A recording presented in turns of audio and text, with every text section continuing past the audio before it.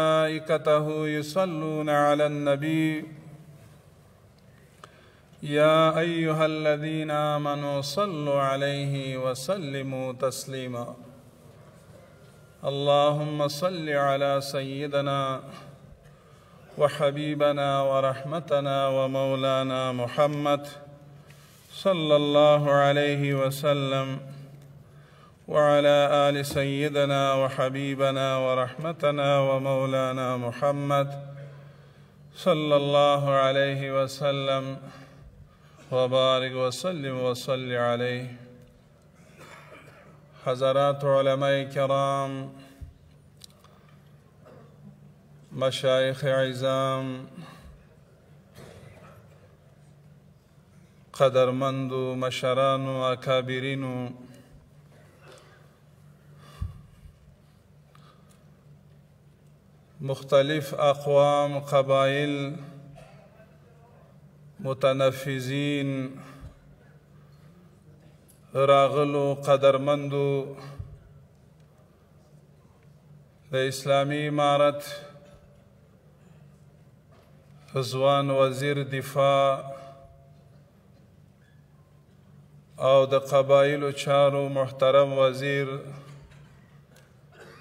د انکشاف الدهات محترم وزیر صاحب مختلف وزارتونو قدرمندو معینانو شيوخو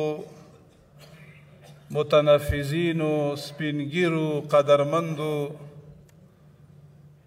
ستاسو د ټولو په اجازه دا فضل خداوندی دا چې د حریت او د ازادۍ په فضا کې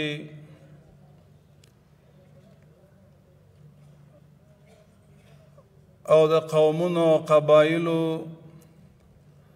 د چارو وزارت د سرپرستی ماتحت منګ او تاسې دلته راغون شوی یو پروردګار عالم دغه غونډه مثمر او منتج وګرځي قدرمندو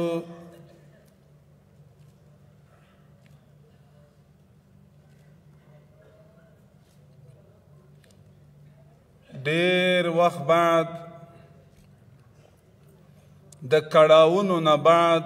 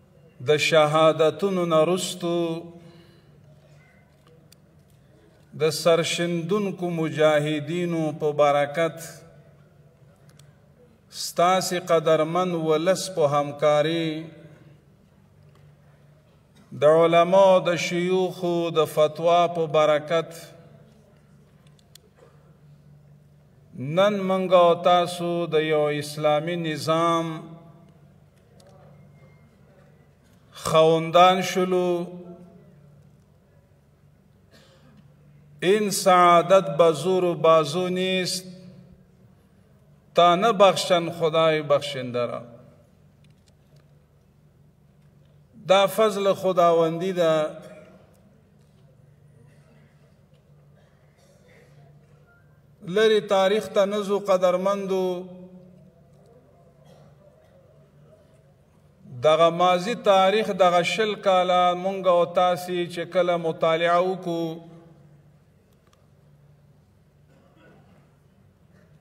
هیوادوالو او زمونږ او تاسو د ملت د دا داخل کشور هما ملت سرتاسري افغانستان دمي بسال سرتاسري افغانستان ماشوما و مایان دو هدف داشتیم همه مجاهدین که شهادت مقدس را نوش نمودند وکسایی که مجروح و جرح را برداشت نمودن کسایی که یتیما و بیوها که ماندن از الف گرفته تا یا همه متنفذین همه علماء کرام همه شیوخ عظام همه مستفیدا همه متنفذین به می جهاد مازی دو هدف داشتیم عمده اولا اخراج تجاوزگرا و کفری ملت و دوم تطبیق نظام اسلامی و پیاده ساختن سرتاسری افغانستان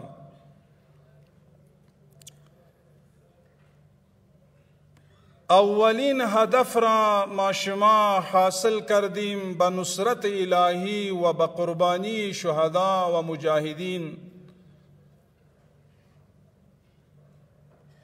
و هدف ثانی و دوم ما شما امروز و اکنون روبرو هستیم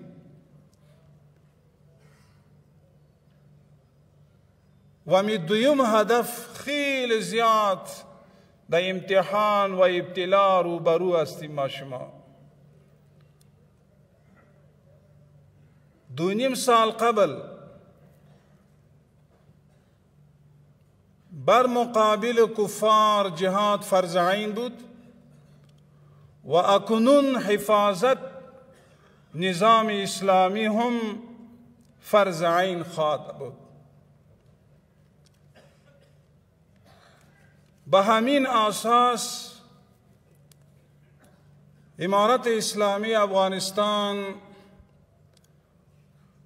و حاکمان وقت و همراه ملت یک ربط قوی پیوند زمینه را مساعد ساخت که در مابین ملت و مابین نظام اسلامی هیچ کدام تبعیض وجود ندارد قدرمندو د اسلامی نظام مختلف برکتونه وي تاسو ته معلومه ده دلته مختلف کفري هیوادونه حضور لرل خو مونږ او تاسو میلیونونه معتادین درلودو مواد مخدر در اوج رسیده بودند و کشت کوکنار سرتاسری افغانستان غلل عموم وجود داشت و گدایگری کوچه به کوچه وجود داشتن لله الحمد اکنون شما بالمشاهده مباشرتا میبینین و مطالعه میکنین تمام معتادین جمع میشه از طریق نظام اسلامی و امارت اسلامی برای آنها به تعلیم و تربیت دانشگاه و تربیتگاه و ورکشاپ ها تربیت و ترتیب میشه نو هغه پرون معتادین چې رور رور ته جای نه ورکو نن هغه هنرمن با کمال یو شخصیت هغه راوځي دا د اسلامی نظام برکت ده کنه دا هغه حقایق ده چې نه پټیږي قدرمند د هغوی مفکوره د هغوی انرژي مکمل نمز نه ختم شوی و نن الحمدلله هغوی ته تربیت اصلاح د دین ضرورت او امور نه خبردار شل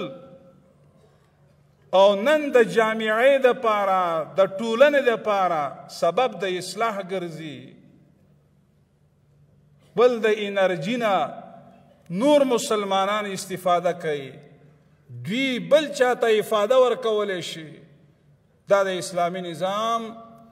لاسته راوړنه او هغه برکتونه ده په میلیاردونو امریکایي ډالرونو زمنګ ستاسي باعزت انجینر باعزت ډاکټر باعزت د هنر مالکان هغه د پولي سوخته لاندې د انسانیت په نظر هم چا نه کتل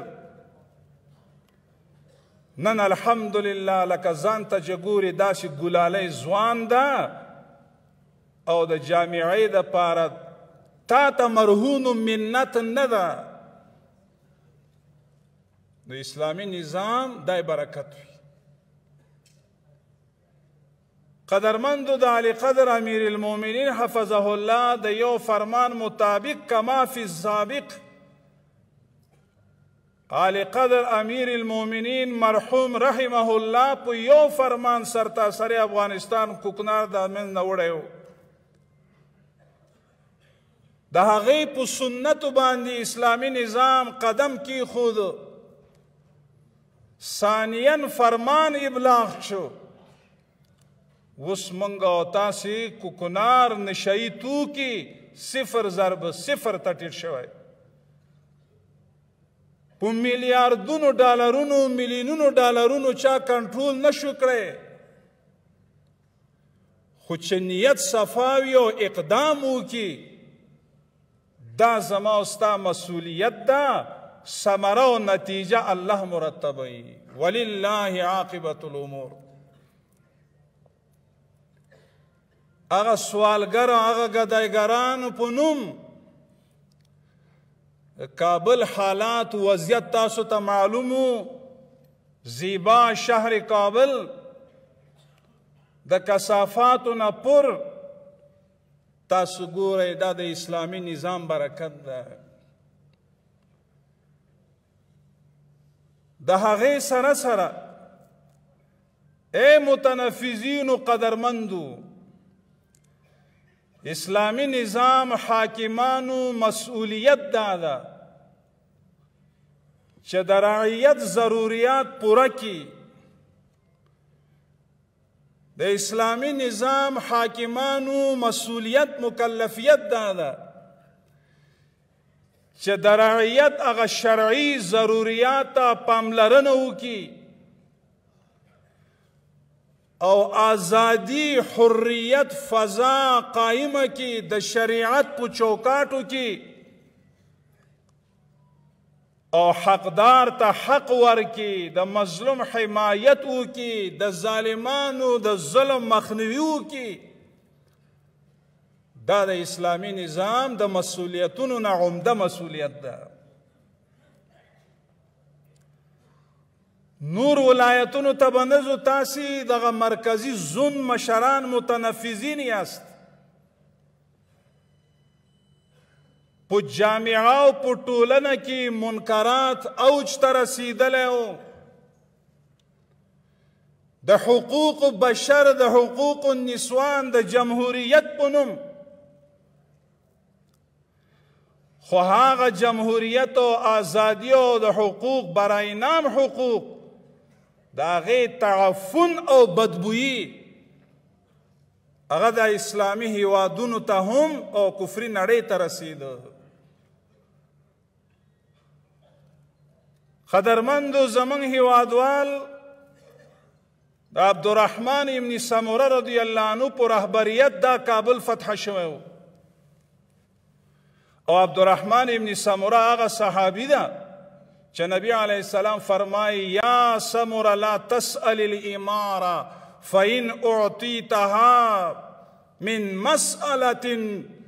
وكلت إليها وإن أعطيت من غير مسألة أعنت عليها أو كما قال عليه الصلاة والسلام اے عبدالرحمن ابن سمورات ته په خپل سر باندې مسولیت تقاضا مکوا که دې وکړه نو بیا د الله تعاون د الله مرسته د الله نصرت او مدد بنوي تا سره په دې مسولیت کې که د امیر د طرف نه وټاکل شوي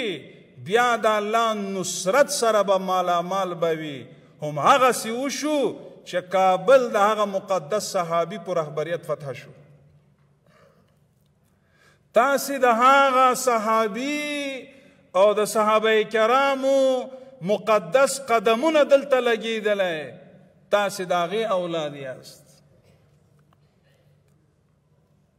قدرمندو اوس هم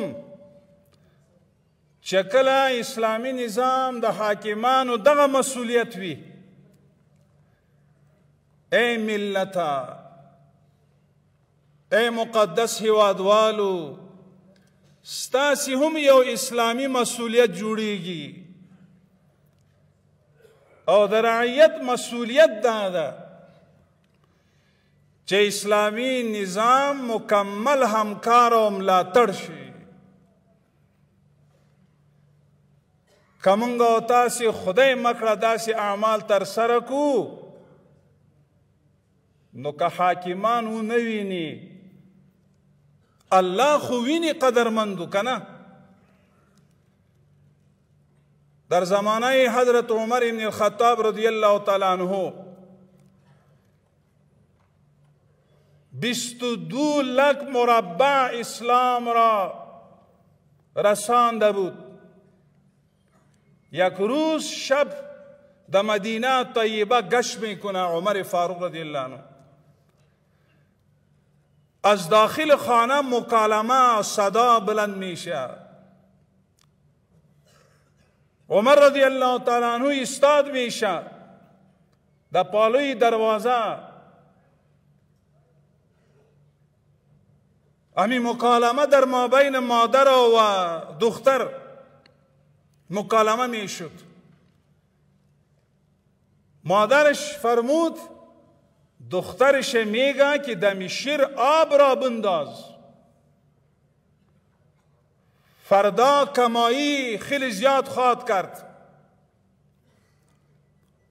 و می دختر جوان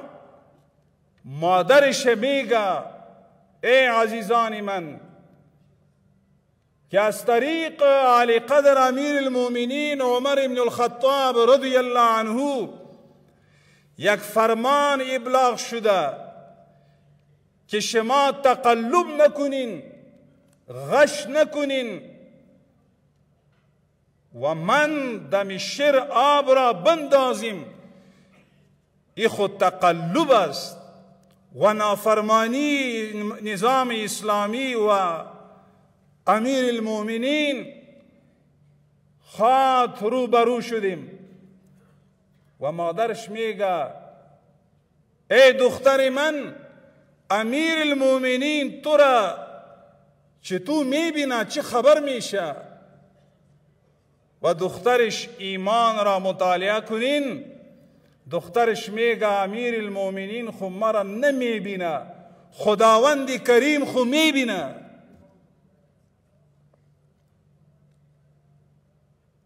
اې قدرمندو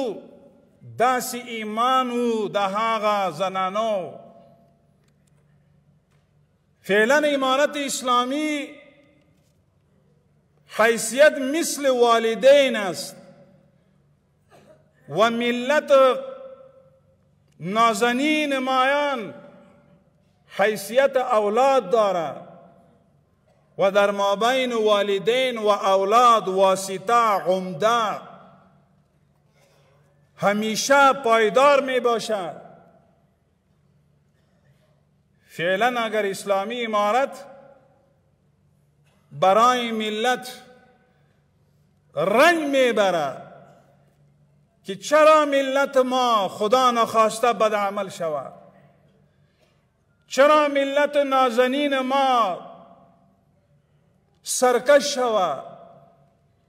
چرا د جامعه مستور محجوب سنتی ملت اسلامیه چرا بی حجاب شون لہذا امارت اسلامی افغانستان سر خواهر سر مادر چادر را میندازند که ای مادر من و خواهر من خودت مستور محجوب با عزت با عفت پاک دامن باشی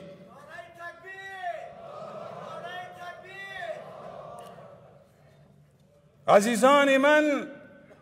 و خود غرزا مخربا تخریبکارا دنبال میزنن به نام حقوق نسوان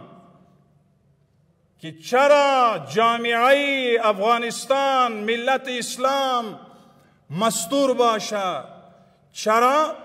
20 سال جد و جهد دشمنا انشالله از بین میره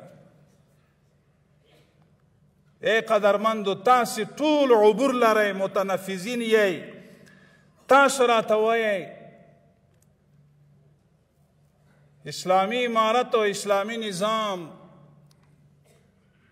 خپل خورکې په دې سر باندې پړونی ګدي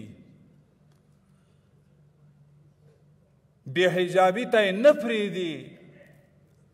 ولې دا حکم الهی ده یدنین علیهن من جلابیبهن از سر تا پای مستور و محجوب باشه تاسو ملت یې تاسو راته وایې دا حجاب دا حکم الهی ده کنه قدرمندو دا زمونږ او ستاسو انانات او فرهنګ ده کنه باید زمونږ او ستاسو زندګي الهي نظام مطابق د اناناتو مطابق به دائم او قائم به وي که نه وي نو یو طرف ته هغه اجران وایي چې اسلامی افغانستان ملت خو مخکې نه محجوبه وه او دې ناسي سرتوره ناسي نو لهذا زما دې په الله قسم یې هیوادوالو تاسو مونږ ته قلبا محترم یاست مونږ ستاسو احترام ستاسو قدر مونږ ته عزیز ده مونږ نه غواړو چې زمونږ خويندې بې عفته شي مونږ نه غواړو چې زمونږ د خويندو پلاران بې عزته شي مونږ نه غواړو چې تاسو په پیغور مخامخ شئ موږ دا غواړو چې یو وحدت ملی وي موږ دا غواړو چې ټول اقوام په یو تار راجمع شي دلته دا امتیاز نشته هغه ملک طوایفي ختم شو په یو طرف ته د هزاره په نوم چا حکومت کوو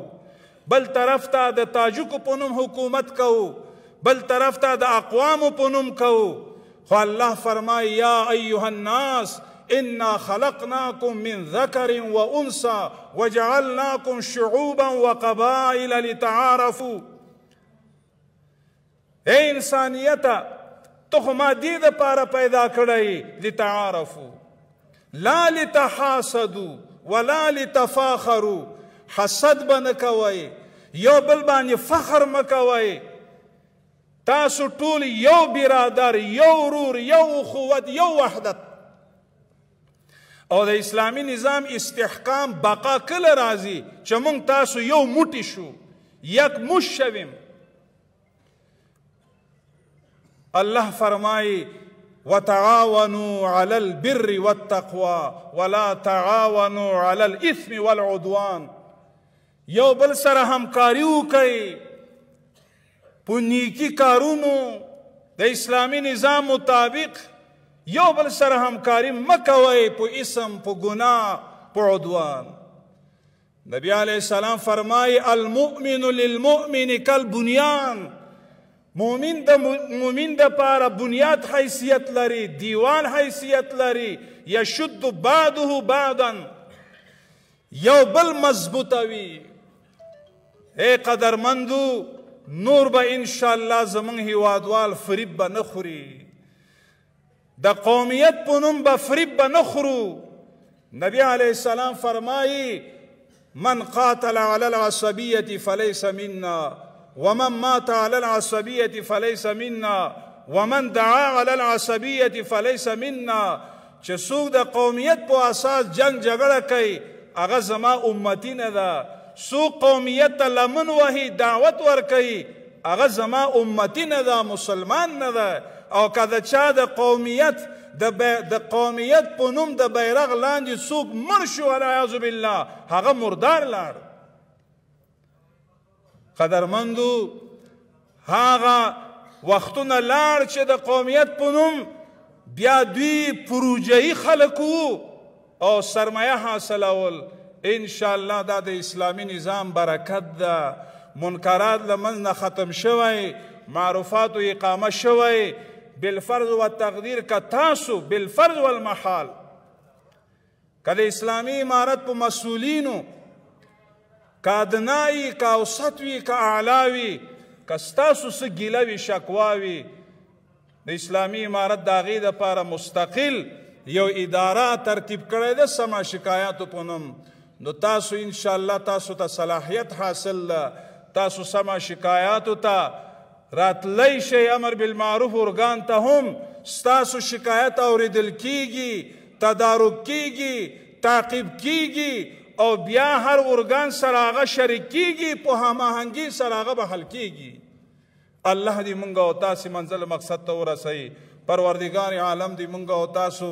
نور هیواد د شر او د فساد نه الله محفوظ کی الله دې دغه اسلامی نظام قائم او دائم لري واخر دعوانا ان الحمد لله رب العالمین